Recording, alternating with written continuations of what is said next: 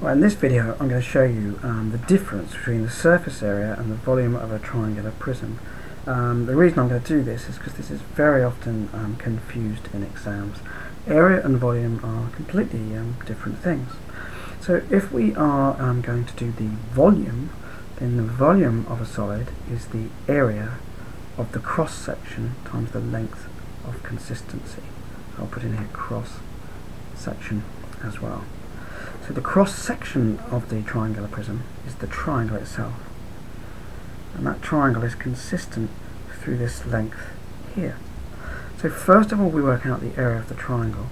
Now the triangle has a height of 3 and a base of 4 and we must times that by half. Again that's often forgotten and leads to a mistake and loss of marks. So 3 times 4 is 12 times a half is 6 that'd be 6, uh, so this is in centimetres, 6 centimetres squared. Now the length of consistency is 7, right, that's clearly written there, so it's 6 times 7. And so the volume of the, uh, the volume really is quite straightforward, and it's 42 centimetres cubed.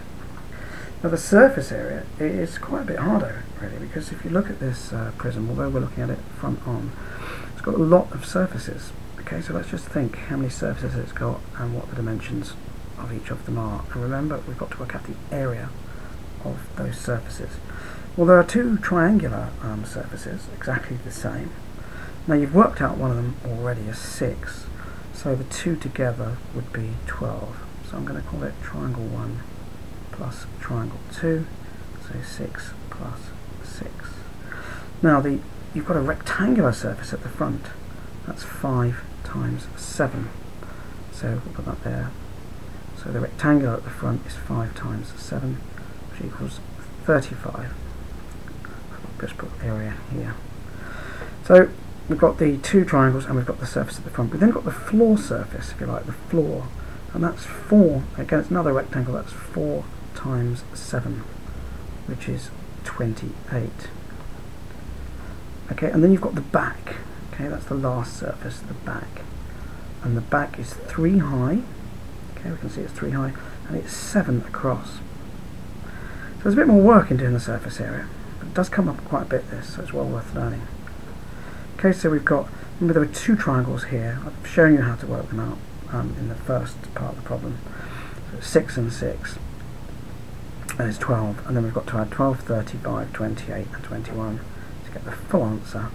7 and 8 is 15 and 1 is 16. Carry the 1. 1 and 3 is 4.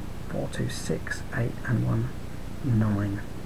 So the surface area then is 96 centimetres squared as opposed to the completely different calculation of 6 times 7 um, to get 40 centimetres cubed for the volume um, of this triangular prism.